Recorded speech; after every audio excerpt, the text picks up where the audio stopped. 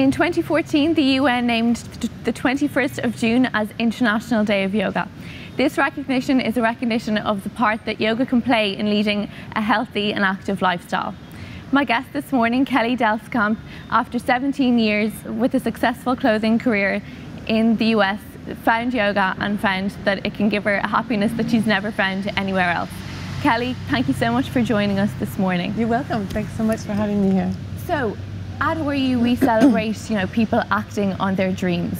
Can you name a, a, a, a part in your practice that you realize that I'm never going to get this from, from corporate life? that yoga started to give you something that you just weren't getting from your from your um, everyday career?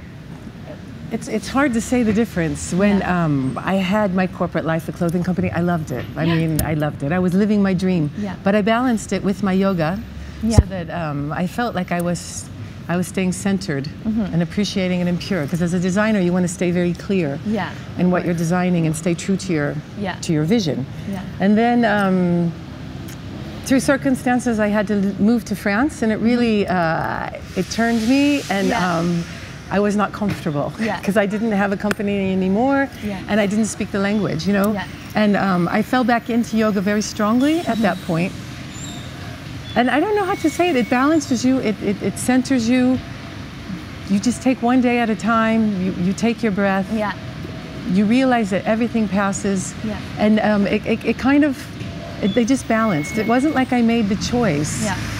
One just kind of fell into the other, and it, it was the right path for me at the right time. Yeah. I'm, I think. I'm a daily practitioner myself, and one of my favorite parts about going to class is you can go into a class at the end of the day or the start of the day, and you can have people of every age, every ability, with so many different jobs, yeah. different cultures, different religions, and for that hour class, everyone is moving in unison, everyone is on the same level. Do you think that that's that this intimacy is one of the draws of yoga? I do. I, I do. Mm. I think it's a good question because um, um, there is a need to relate to people. Yeah. And there's a need to relate to people on a, a, a real level. Yeah. Like, of course.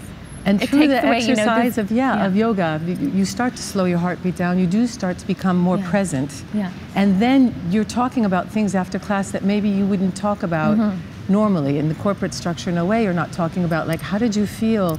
I felt this. Yeah. Um, this has kind of changed my life. You know, I'm, I'm thinking about eating that. You're, you're, you're, sharing, or sometimes there's emotions that come up in class and you cry. Yeah, exactly. You're vulnerable. Yeah. You're embarrassed, you know, yeah. about some things, or you need the, yeah, you want to share. Yeah. So you're, you're, um, the way you relate to other people is definitely oh, different oh, definitely. in a yoga class, and it, it forces you definitely. to relate on a different level, mm. on a mm. deeper level, you know, on a human level. Yeah. So for sure, I think it's a draw because you're in there and it feels great and it's great for your body yeah. and all the other stuff and for me, it's like eating a salad. Like you eat yeah. a salad to be healthy. Yeah. I'm gonna I'm gonna force feed myself some positive yeah. thoughts. And that's that that's something as well that I find. You know, you feel you start to use your food as fuel. You feel like you're yeah, nourishing your body. I know I go to a studio in the centre of Dublin and we, you know, I go past bars and clubs and restaurants and takeaways on my way home.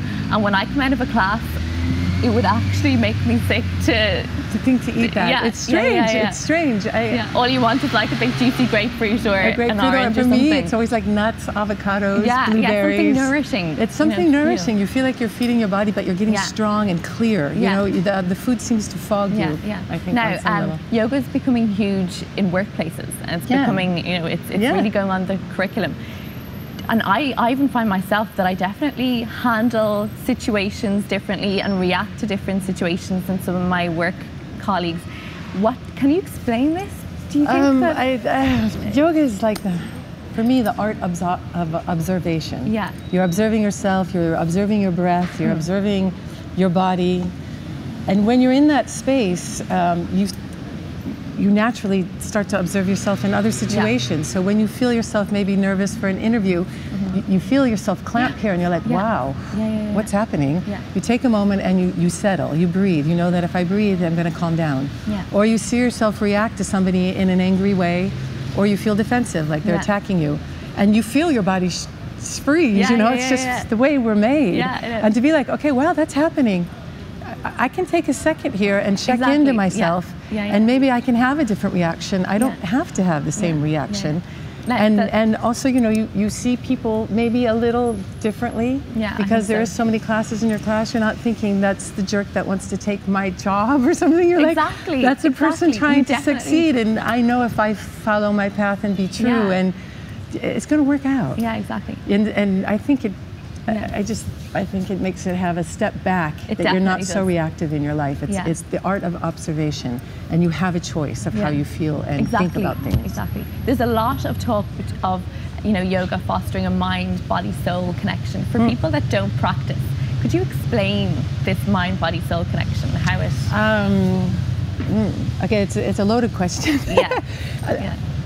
On a basic level, Yeah. in, in yoga, you concentrate a lot on the exhale. When Mm-hmm. you concentrate on the exhale and it's longer than your inhale, Mm-hmm. you start to slow down the vagus nerve. When you start to slow down the vagus nerve, right, it starts to slow down your parasympathetic system and you calm down, right?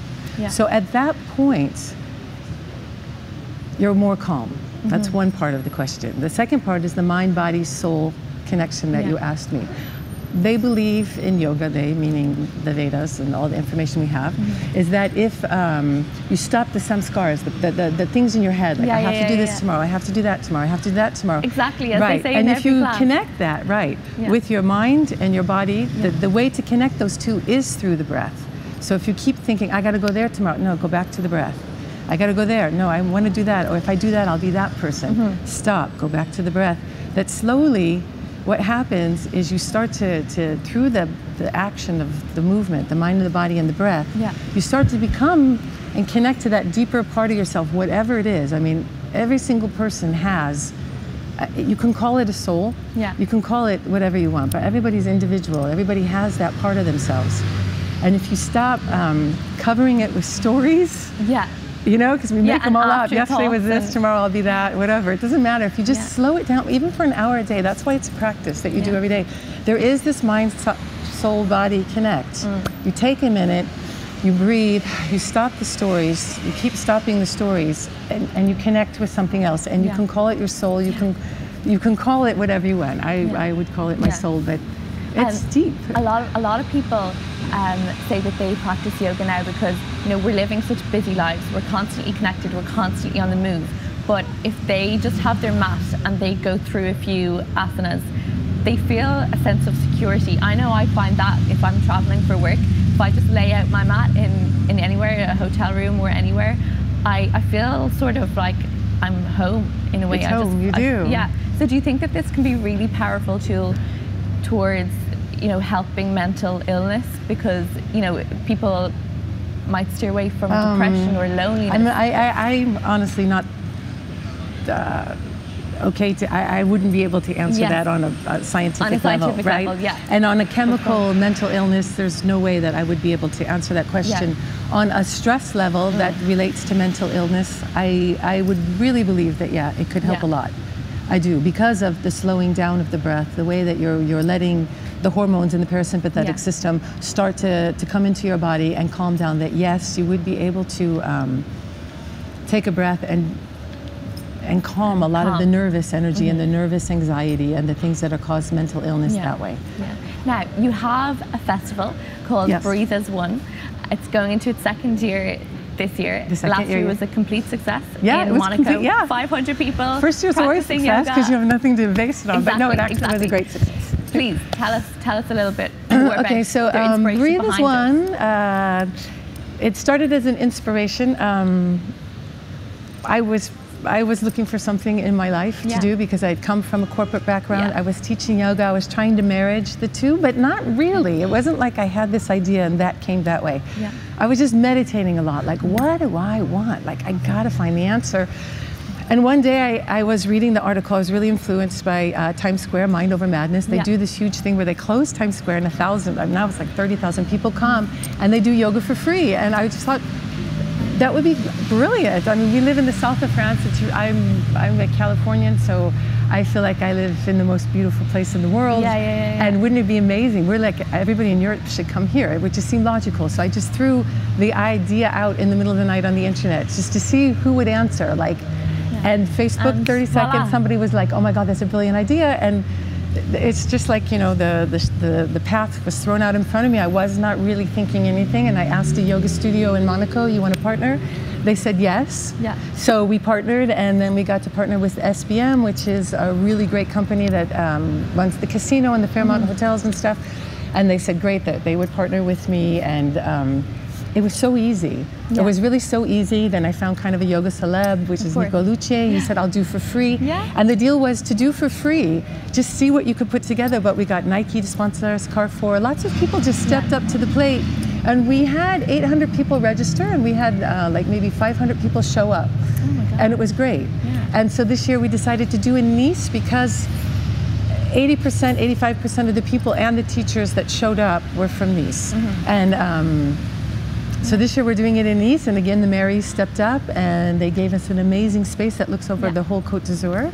We have artists that are coming that uh, are, are, showing their art for free. So, we have so is this music. is this your at Horyou we we celebrate you know people acting on their dreams. Is this your ultimate dream to grow it and to yeah, I mean, yeah, we really, uh, I would like to grow it to every city so that every city can connect it, that every city that can film it, and that you can see that people will come together and breathe as one uh, for free for one day. So breathe. Summer on this, you know, enjoy it on the summer solstice. It's Amazing. the day of revival, renewal of the spirit. Yeah. Kellie, thank you so much You're for welcome. joining us. Thank today. you. Thank, thank you. you thank, so thank you.